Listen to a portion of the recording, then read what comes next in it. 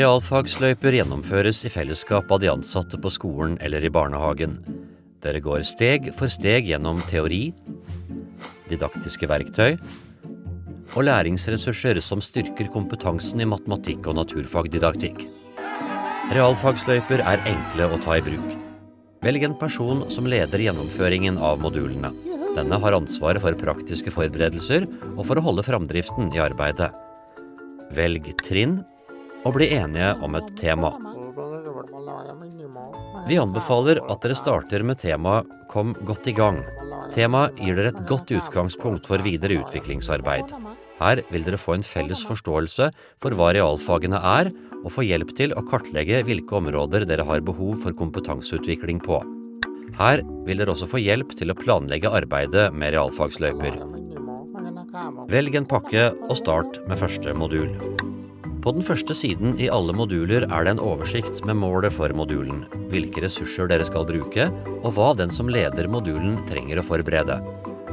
Alle moduler har samme struktur. Forarbeidet gjør dere individuelt.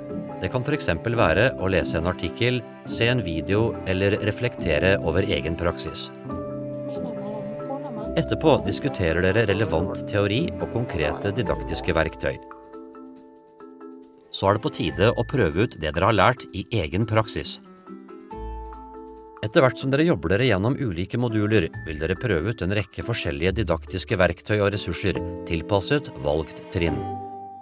Til slutt deler dere erfaringer fra utprøvingen og diskuterer hvordan dette kan styrke egen praksis. Når dere har gjennomført en modul, kan dere gå i gang med den neste.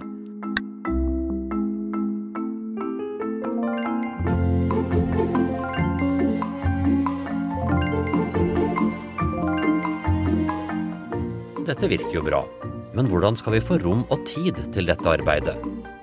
For å lykkes må det settes av nok tid over en lengre periode. Arbeidet med realfagsløyper bør være forankret i årsplaner, og ledelsen må være tett på å legge til rette og motivere de ansatte. Lykke til!